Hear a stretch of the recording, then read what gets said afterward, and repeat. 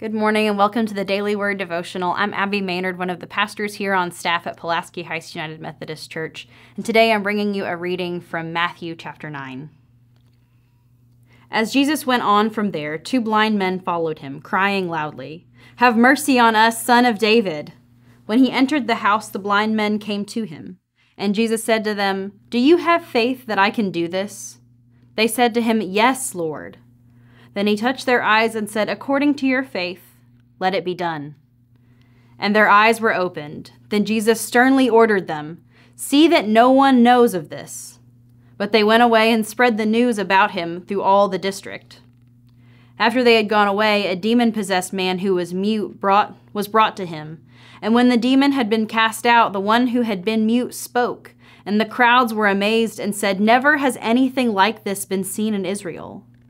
But the Pharisees were saying, By the ruler of the demons, he casts out the demons. Here we have a couple of kind of interesting healing stories, I think.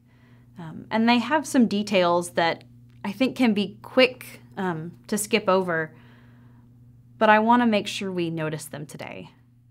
This is not just a text about Jesus healing it's also about the news of Jesus getting out and how it was received. The man who's possessed by the demons is literally given a voice. And we see the reactions of this amazed, shocked crowd and the doubtful Pharisees who are crediting Jesus' power with being something demonic. I think this is kind of the the scene we expect to play out, the thing happening very publicly, the crowd and the dissenters. But I think that the interaction between the blind men and Jesus is really the more interesting one because it's the one that's more subtle.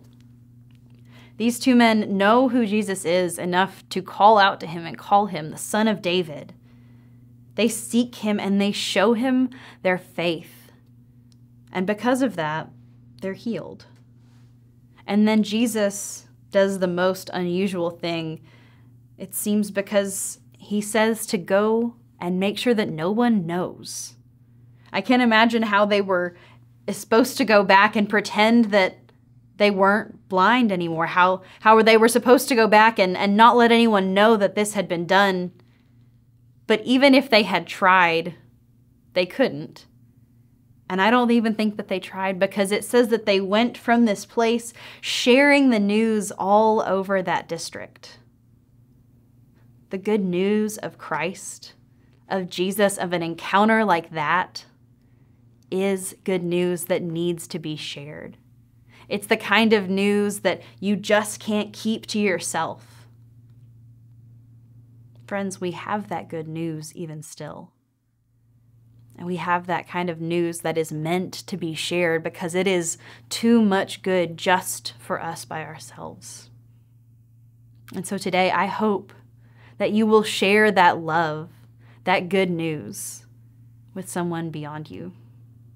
Have a great day.